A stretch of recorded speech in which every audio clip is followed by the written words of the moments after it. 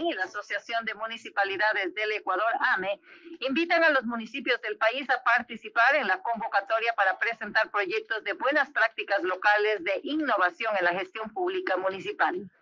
La convocatoria Buenas Prácticas Locales de Innovación en la Gestión Pública Municipal es un reconocimiento público que se otorga a los gobiernos autónomos descentralizados municipales que han emprendido esfuerzos de carácter institucional para la mejora de la administración pública a través de procesos de innovación. Se pueden registrar prácticas eh, que cuenten por lo menos con dos años de implementación que presenten avances o resultados exitosos, incluyendo las respuestas a la crisis derivada de la pandemia por el COVID-19. La doctora Andrea Carrión, decana de la Escuela de Gobierno y Administración Pública del Instituto de Altos Estudios Nacionales, nos cuenta lo siguiente.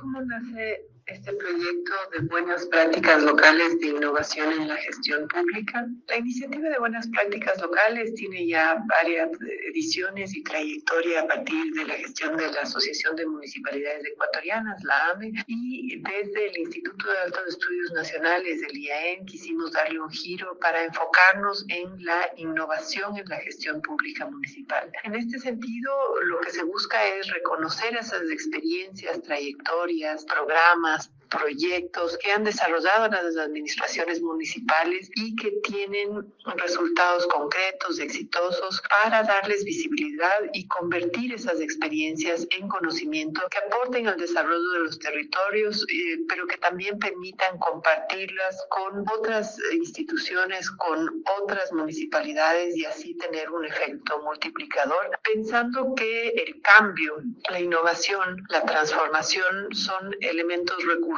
dentro de la administración pública en todos los niveles.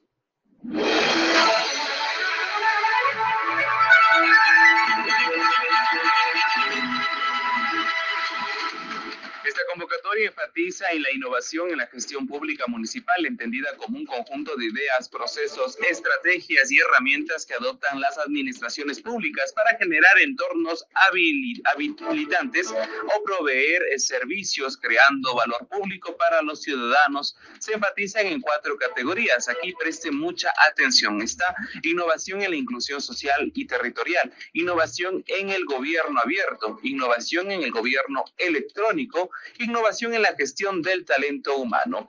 Este concurso está destinado para los gobiernos autónomos descentralizados municipales, pequeños y medianos, empresas públicas municipales de municipios pequeños y medianos, mancomunidades o consorcios de gobiernos autónomos descentralizados conforme la categorización realizada por el Banco de Desarrollo del Ecuador. La postulación comenzó desde el primero de julio y finalizará el 30 de septiembre. Los participantes deberán eh, completar el formulario de postulación en línea, incluyendo las evidencias pertinentes y enviarlo la antes de la fecha límite. La información la pueden encontrar en el portal del Instituto de Altos Estudios del Ecuador.